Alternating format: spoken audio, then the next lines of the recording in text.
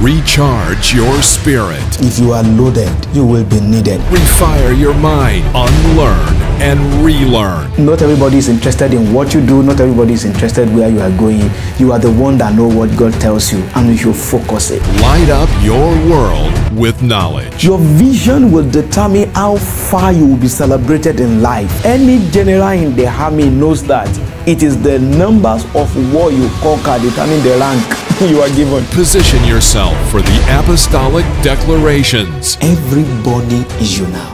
I ask the Lord to swallow those battles. and let the journey of greatness begin. Get ready for Apostolic Charge broadcast with Apostle Bamilaw on this station. Hi, my name is Lawrence Bamilaw. Join me here on Hosanna TV for Apostolic Charge broadcast of this time showing on your screen. God bless you. Apostolic Charge broadcast is brought to you by AGN Air Forces Partners.